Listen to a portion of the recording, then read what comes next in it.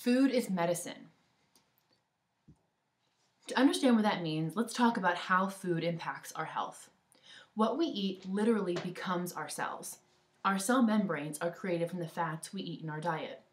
So if you're watching your screen right now, chowing down on a fast food meal chock full of trans fatty acids, over the next few days, those will be incorporated into your cell membranes, causing them to be more rigid and not function properly. Our bodies require vitamins and minerals as cofactors in our biochemical pathways. If we don't acquire these from our foods, the biochemical pathways also won't function properly. We've heard a lot recently about genes. We've mapped the human genome, and now we can do genetic testing and find out our risk for practically everything. But we aren't talking about something maybe even more important epigenetics. Just because you have the gene for, say, heart disease, doesn't mean you're destined to have a heart attack. How you fuel your body can literally turn on or turn off gene expression. Food really is your medicine. Here are some general action steps you can take to treat your body well. First, limit processed foods. This is anything that comes out of a box, a bag, can, wrapper, etc. No matter what the package says, nothing is better than food in its most natural state. Avoid trans fatty acids. These are most commonly found in margarine, cooking sprays, and packaged foods. On labels, you will see trans fatty acids called hydrogenated or partially hydrogenated oils. The oils are hydrogenated to give the food a longer shelf life. Portion control.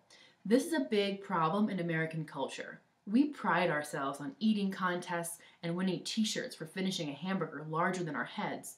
Somewhere between all you can eat buffets and supersized fast food portions, we lost the concept of a reasonable portion. So let's talk about it. Let's talk about one meal and what healthy portions look like. Look at your fist.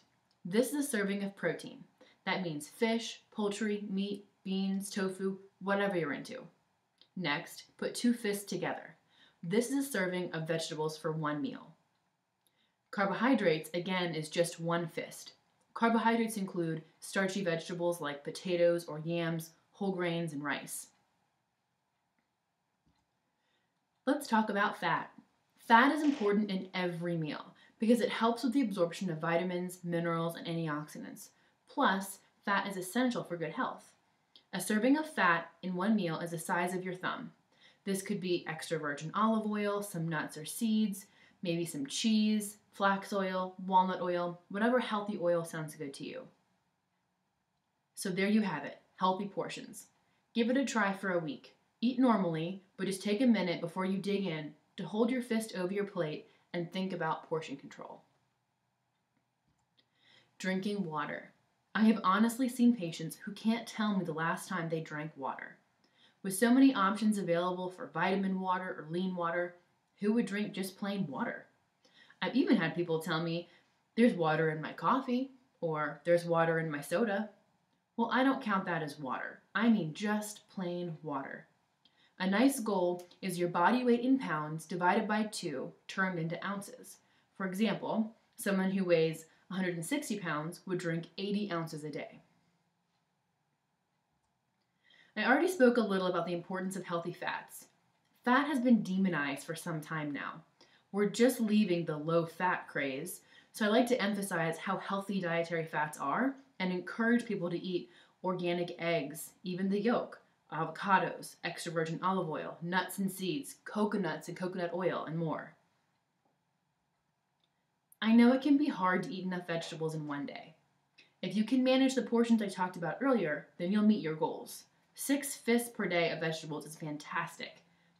You want to aim for five different colors in one day.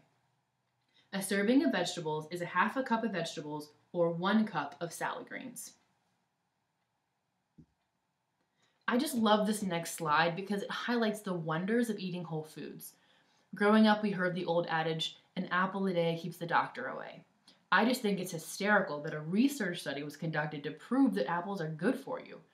We could do these studies on all the fruits and vegetables, or just believe what we already know. Eating a whole foods diet goes a long way with prevention. For almost every condition, there's a diet plan that can help. A good book for this is Dr. Alan Gaby's book titled Nutritional Medicine. In my classes, I go through how to eat for a variety of conditions, including blood pressure, weight loss, diabetes, bone health, and more. I like to end with Dr. Andrew Weil's anti inflammatory diet pyramid. I love how he puts vegetables and fruits as the bulk of the diet. On here, you can see fish, nuts, seeds, eggs, even herbal tea. This is a far cry from the standard food pyramid we often see. If you want more specifics on foods for conditions, attend one of my Food is Medicine classes. Check out the events page on my website for more information altssolutionsforhealth.com.